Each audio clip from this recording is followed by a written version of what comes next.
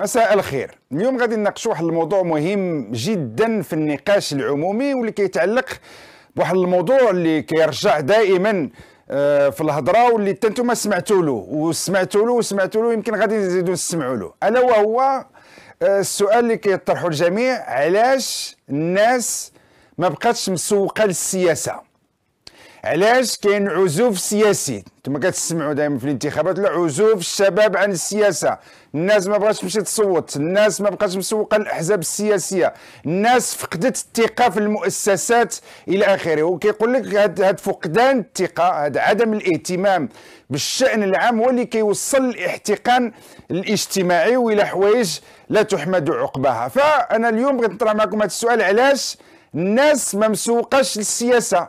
علاش الناس ما بقاش دايرة الثقة في المؤسسات السياسية ديال البلاد؟ واش هذا الشيء؟ يعني الناس فاقوا في الصباح يعني كانوا ناعسين وفاقوا قالوا صافي دابا ما نديروش الثقة في المؤسسات ديال بلادنا في الحكومة في البرلمان إلى آخره أو لا كاين شي حوايج أخرين. أنا نظن كاين شي حوايج أخرين. وغادي اليوم نعطيكم جوج ديال الأمثلة حية اللي غيتبين لكم بأنه يمكن المشكل ماشي في الناس. يمكن المشكل ماشي في الشباب. لأن أنا ما نظنش يعني الشباب ولا الناس بصفة عامة بانت له ما يتيقش في المؤسسات. بانت له ما يتيقش في الحكومة. يمكن لأن حتى المؤسسات السياسية حتى هي ما تيقاش ولا ما بقاتش مسوقة للناس. على هذا الشيء اللي خلى الناس ما مسوقاش للمؤسسات ديالنا. يمكن حتى الحكومة ما بقاتش مسوقة للشعب ما بقاش مسوقه للشباب هذا الشيء علاش خلى الشباب حتى هو والناس بصفة عامة والشباب ما يتيقش وما مسوقش للحكومة. أنا نظن كاين كاين هذا الشيء لأن لا أظن أن الناس ولا الشعب يكون مفيك من طرف المؤسسات والحكومة مهلية فيه. وهو ما نعرف هكا في المغنات يقول لك صافي أنا ما أنا ما بقيتش مسوق للحكومة أنا ما بقيتش مسوق للسياسة ما عنديش الثقة في المؤسسة هكا عجبني الحال. واخا هما كيتهلاو فيا أنا ما بغيتش نثق فيهم. أنا لا أظن هذا الشيء. أنا اليوم غادي نبين لكم بأنه حيت المؤسسات ما مسوقاش لعباد الله فخلات عباد الله ما مسوقاش وما تيقاش في هذه المؤسسات نعطيكم كما قلت لكم جوج ديال الأمثلة حية عجيبة وغريبة جدا كنعيشوها في هذه البلاد السعيدة. إذا اسماء خلالو عن حزب التجمع الوطني للاحرار في واحد اللقاء تلفزيوني حواري غادي تعلن أمام يعني الشعب المغربي وكانت يعني يا للصدمة غيتعلن مباشرة بأنه هي عندها مشكل في البلدية ديالها حيت قالت لهم كاين شي حاجة اللي كتسمى الموظفين الأشباح. قالت أنا جيت تلاقيت تقريبا 2400 موظف شبح. ماذا يعني موظف شبح؟ يعني موظف محسوب في لي روجيستر بانما خدام ولكن في الواقع ما كيجيش يخدم. محسوب في الكنانيش أنه كاين كيتخلص في رأس الشهر ولكن في الواقع ما كيجيش يخدم ما معروفش ما شافوش الناس ما كيجيش 2400 موظف شبح خليكم تصوروا هاد 2400 ضربوها في 2400 صالير كل واحد وال salaire ديالو. كان كل واحد و l'échelle ديالو. وغالبا كيكونوا هاد الناس اللي عندهم اللي عندهم هاد القوة وهاد القدرة أنه يفرض راسه كموظف شبح عنده دخلات يعني دائما كيدخل بواحد l'échelle محترمة جدا. échelle dix إلى آخره.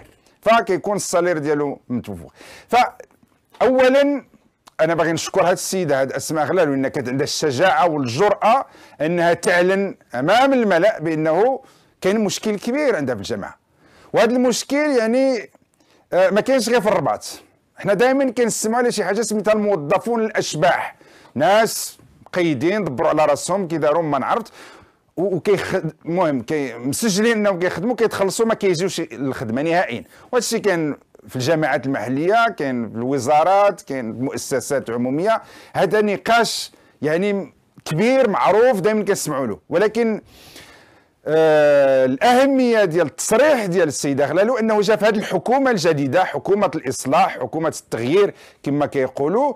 وقالتها أمام الملأ وبواحد الجرأة بواحد الشجاعة. جميل جدا.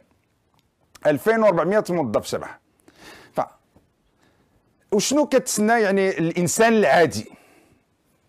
المواطن اللي كيتفرج في التلفزيون اللي باقي عنده ثقة في هذه المؤسسات. باقي عنده ثقة في الشعارات السياسية. وشنو كينتظر من بعد هذا التصريح الخطير جدا؟ أنه يعني في أبسط الأشياء تنوض الحكومة اللي غدا دير مثلا تصريح قوي. تقول هذا الشيء راه سمعنا بأنه كاين 2400 موظف غير في الرباط غير في الجماعة ديال الرباط. فهذا الشيء غادي نوقفوا غادي نديروا شي حاجة ولا شي بحث ولا غادي نوقفوا هذه الأمور. هذا الشيء ما خصوش يبقى وغادي نفتحوا بحث على الصعيد الوطني باش نشوفوا في الجامعات الأخرى. يعني خصها تنوض البلبالة خصها تنوض القلقاله خصها تنوض يعني الروينة لأن هذا الشيء غير مقبول في الأنظمة الديمقراطية ولا في الأنظمة اللي شوية كتحترم نفسها. مباشرة من من بعد التصريح كتنوض أيضا نقاشات مستفيضة في البرلمان. نواب الأمة كيقولوا سمعنا تصريح ديال واحد المسؤولة قالت كذا وكذا فهذا الشيء غير مقبول. إذا خصنا في أبسط الأشياء نديروا واحد لجنة تقصي الحقائق. وماشي غير في الجماعة ديال الرباط. حتى هم جميع الجماعات. ونشر ونشوفوا حتى مع وزارة الداخلية. إن وزارة الداخلية هي اللي عندها سلطة الوصاية للجماعات المحلية.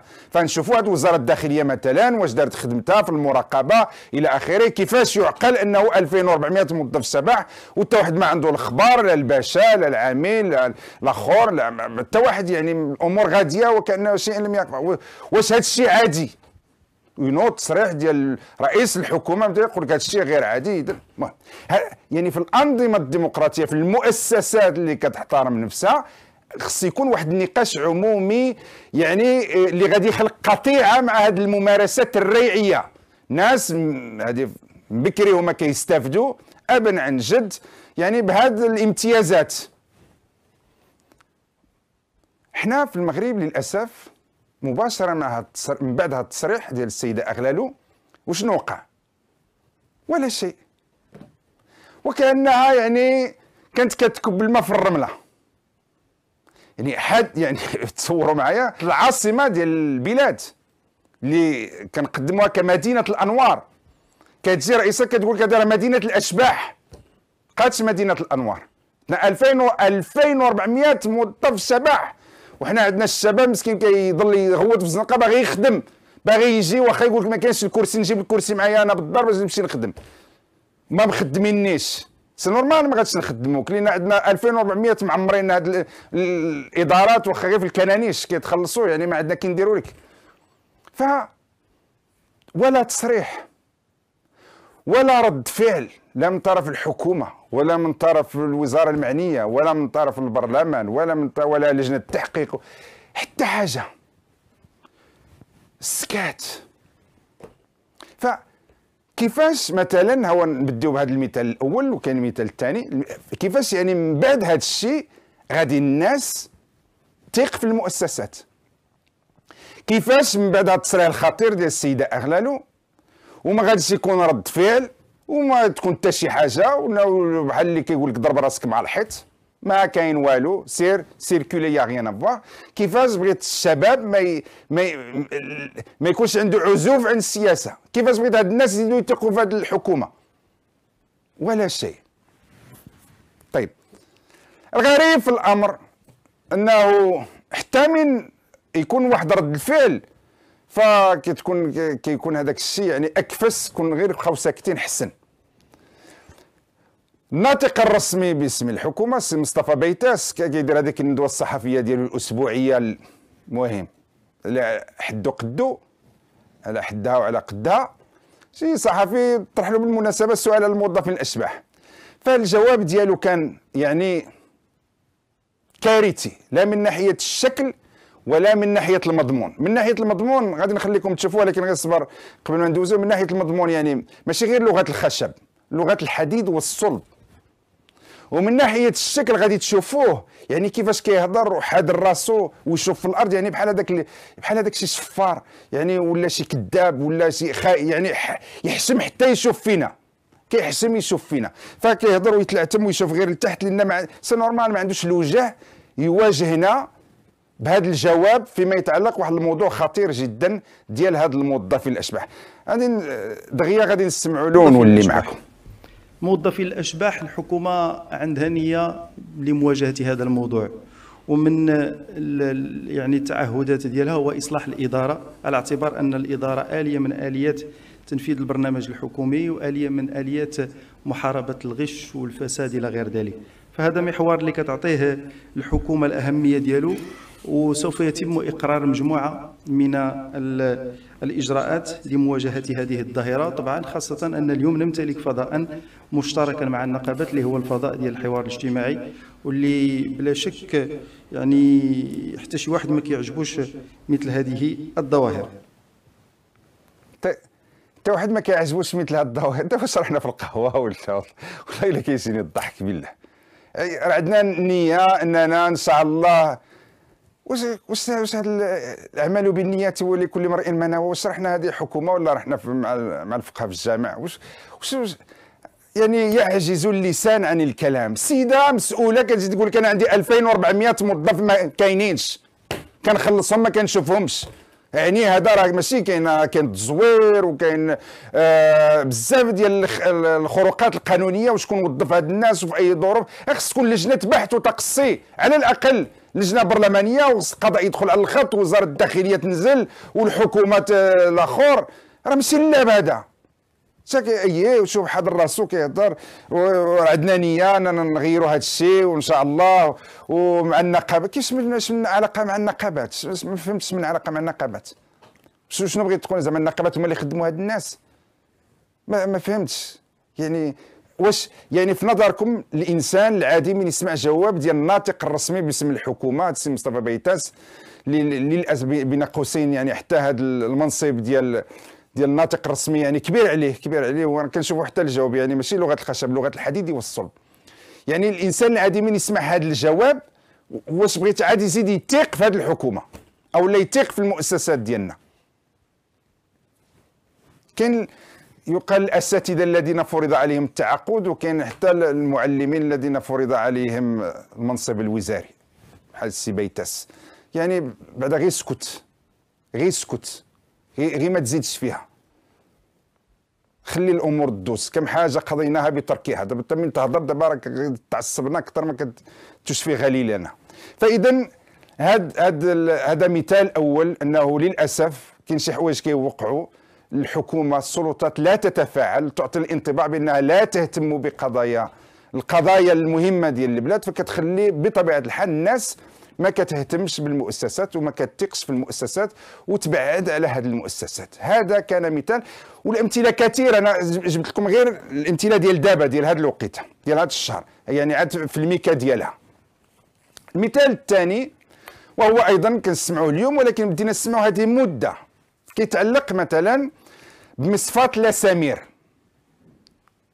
وعلاقتها بالسي عزيز اخنوش رئيس الحكومة فهذه مدة باللي السيد السي عزيز اخنوش رجع رئيس الحكومة دائما هذه الهضرة ديال تضارب المصالح.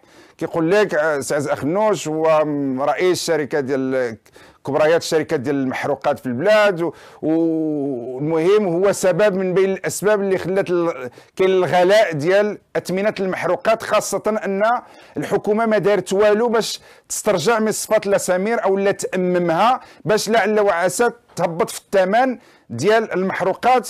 وجات مع هذه الحرب ديال أوكرانيا إلى كثير فهذا النقاش رجع. كنا سمعنا في الأول من ولا رئيس الحكومة دابا عاود مع أوكرانيا مع الغلاء ديال الأثمان فدائما الهضرة وهذه الهضرة ماشي الناس القهاوي يعني متخصصين برلمانيين سياسيين أحزاب كلها كتتهم رئيس الحكومة كتقول له كاين تضارب المصالح أنت عندك الربح أنه مصفات الأسامير تبقى مغلوقة. أنا ما كنقولش عندهم الحق. ما كنقولش عندهم الحق.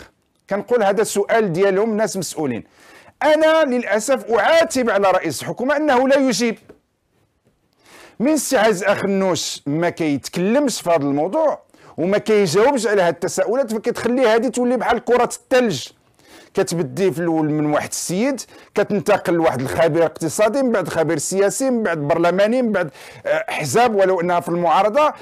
فمن كتنتشر وفي غياب الرد والجواب ديال السي عز اخنوش فالناس شنو غيقولوا؟ اذا الموضوع فيه إن. اذا فعلا كاين استغلال من السي عز اخنوش إنه هو كان رئيس ديال أكبر شركات المحروقات فعنده الربح إنه يستغل المنصب ديالو كرئيس حكومة ويخلي هذيك الأسامير كما هي ما يأممهاش وما يدخلهاش للدولة ويخلي الاثمنه تغلى هو الشركة ديالو. فالهضرة كتكثر فالناس تزيد ما تثقش في السياسيين كتقول لك السياسيين كاملين كيستغلوا المناصب ديالهم باش يقضيو الحوائج ديالهم. علاش؟ لأن بكل بساطة المعني رئيس الحكومة ولو أنه في بداية رئيس الحكومة قال لك أنا استقلت من جميع المناصب ولكن هذا لا يكفي. السيد رئيس الحكومة سي عزيز اخنوش مطالب أنه يكون عنده رد فعل أمام هاد التساؤلات التساؤلات ديال الناس. تقدر تكون مشروعة يقدر يكونوا شي ناس كيستغلوها سياسيا je m'en fous اللي كان نعرف أنها مطروحة في الفضاء السياسي في الفضاء العام في وسائل التواصل الاجتماعي في, الجرائد في المقالات. فمن المفروض أنه يجاوب. لفت أن السيد رئيس الحكومة ما كيجاوبش. بغينا ولا كرهنا عنده ارتباط بالشركة ديالو ديال المحروقات. بغينا ولا كرهنا رئيس حكومه عنده الهضرة عنده الكلمة عنده رأي فيما يخص قضية لاسامير فخصو يجاوب. مرة أخرى الناس كاملين كيتهموا الحكومة وعلى رأس عزيز اخنوش أنه يستغل المنصب ديالو باش هذيك لاسامير تبقى مغلوقة وباش الاثمنه تبقى مرتفعة. ولا مجيب ولا رد فعل. فالناس كتقول لك اذا كاين شي حاجة qui n'est pas normal كاين تعطي الانطباع أنه هذه الحكومة ولا سي اخنوش أنه يحتقر المواطنين يحتقر الناس. أنا اتفهم يمكن السي اخنوش انه بوجهة نظره كيقول لك هذه الهضرة الخاوية. وأنا ما نجاوبش على الهضرة الخاوية. وما غاديش نعطيهم الفرصة باش يزيدوا يجوا النقاش ويقولوا اللي بغاو لأن أنا مقتنع كرئيس حكومة ما عندي حتى علاقة في إغلاق الاسامير ممكن. ولكن أنا كنبقى متشبت بالرأي ديالي بأنه يمكن ولو أنه عز اخنوش كيعتبر أنه على حق وعلى صواب الديمقراطية دولة المؤسسات تقتضي أنه في كل في كل مرة يكون تساؤل ولو عنده نسبة معينة من المشروعية تقتضي واحد رد فعل واحد التفاعل من طرف المسؤولين ديالنا. ولو أنهم هاد الناس كيضروك السياسيين ولو أن الناس هاد الناس عندهم نية مبيتة ماشي شغلي. هذه هي السياسة. قبلت تكون في الحكومة فخصك تقبل تفاعل في كل علاقة عندها ارتباط بهذه الحكومة. فمرة أخرى كما غلالو كما هاد الناس ما كيجاوبوش ما كيعلقوش. فكما قلت لكم كيعطوني انتباه بأن ما هاد الدولة ما مسوقاش. فكتجي بعض المرات أنت كصحفي ولا كإعلامي كتقول لهم المؤسسات ولا المسؤولين ديالنا كتقول لهم الله يخليكم خصكم تفاعلوا معنا. كيقول لك أنا ما ما, ما نتفاعلش مع أي حاجة. كتقول له إيه ولكن راه الدستور ينص أن عندنا حق في المعلومة. وكيقولوا مشي الدستور أنا ما نهضرش أنا ما نجاوبش. موت. ولكن راه الديمقراطية التشاركية لا أنا أنا ما, ما نجاوبكش. وما غاديش يكون عندي رد فعل. وأنا هذه هي الطريقة ديالي في العمل. طيب أنا كنحترم الطريقة ديالكم في العمل ولكن من بعد ما تسألوش علاش الناس ما بقاش تثق فيكم. ما تسالوش علاش الناس ما بقاتش كتصوت ما تسالوش علاش الناس ما بقاتش كدير الثقه في المؤسسات ما تسالوش علاش كتقول الناس كاين احتقان اجتماعي علاش الناس كتخرج تغوت؟ c'est normal من الناس كتعامل معك كتجي تتفاعل معك كتجي قاصدك وانت ما مسوق لهاش فين بغيتي تمشي؟ واش بغيت يعني هاد الناس تضرب راسها مع الحيط هاد الناس بغيت تمشي تنتحر هاد الناس كفاعل ككائن إنساني بشري خصها تعبر. ف المرجو من المسؤولين السياسيين انهم يتفاعلوا ويتحملوا المسؤولية ديالهم وياخذوا يعني المسائل يعني بجدية وبعين الاعتبار. إحنا ما زلنا ننتظروا هاد 2400 موظف شبح. يعني هاد الوقت اللي كنتكلم لكم فيها راه مازال كيتخلصوا ومازال غادي يزيدوا يتخلصوا وكأن شيء لم يقع. ويمكن حتى هذيك أغلالهم مسكينة ندمت. راهم يكونوا يكونوا جبدوا لها الودنين. وبهذه المناسبة كنحييها على الجرأة ديالها ولو أنها مسكينة يعني أنا شوي سير من هضرت ما كانتش عارفة التداعيات ديال هذيك الخرجة ديالها. وهذا الشيء راني خايف يخلي ناس أخرين اللي عندهم مشاكل ما يبقاوش يهضروا. اللي عنده اللي مسؤول عنده شي مشاكل في المؤسسة ديالو ولا في الجامعة ديالو غادي يولي يشد فمو يبلع فمو يقول لك أنا خاطيني. هاد السيدة مشات للتلفزيون وقالت لهم أنا عندي 2400 موظف شبح وحتى واحد ما سوق لها ويمكن داروا فيها وقال واش داكي تهضر؟ عاد نمشي نهضر أنايا واش ثاني أخويا؟ الأمور كم حاجة قضيناها بتركها.